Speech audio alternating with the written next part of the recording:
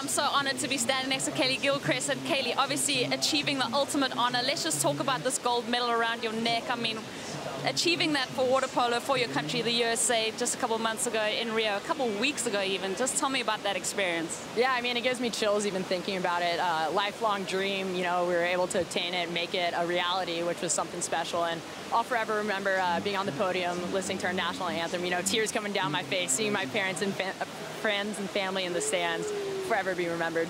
And then obviously we're standing here at a surfing contest and you've got aspirations to join the tour. So just tell me about those goals that you have in mind for yourself. Yeah, I mean, I've been, you know, putting the surfing dream off, you know, to get this dream. And now that I've done that, I'm really going to focus my time and start doing a few QS events this year, not put too much, um, too much pressure on myself. And 2017, head down, try to make the tour.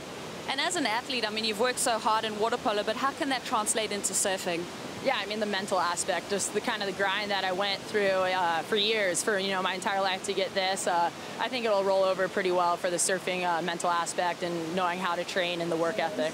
And I saw a lot of support on Instagram from the lakes of uh, likes of Lakey Peterson and obviously Sage Erickson. So a lot of the ladies in the surfing world are aware of you, and, and obviously you're going to become a major threat.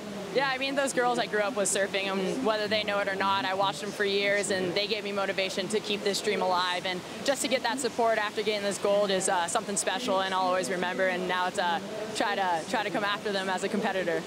well, Keely, thank you so much for your time, and a huge congratulations again. Thank you, thank you. Back to you, Ron. Thank you, Rosie. Congratulations, Kaleigh, and uh, best of luck with the qualifying series. That is going to be very interesting to watch. And uh, one of the other things that no doubt Kaleigh will be thinking about, Ross, is surfing and the Olympics and the opportunity to maybe get a gold medal in another sport.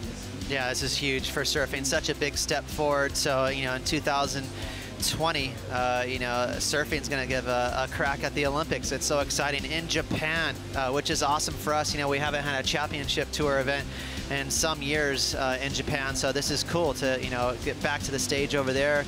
And, uh, you know, there's a lot of what 15, 16 year olds that are kind of rubbing their hands together like, all right, I want to make that team. Definitely. It's a, a, really cool goal for them to keep in mind. Of course, uh, still a ways off, but there's going to be a lot of people focused on getting there. There's going to be a lot of surfers who are currently competing on the championship tour, trying to extend their careers to that point and giving themselves a, crack at it. Even Kelly Slater said that, you know what, if he's in good form, when that rolls around, he'd love to have a, a go at it. So it's going to be fun to see. Yeah, Kelly uh, from Florida, uh, proud American. I'm sure he'd like to uh, represent the American flag at the, the ripe old age of 48. That'd be something.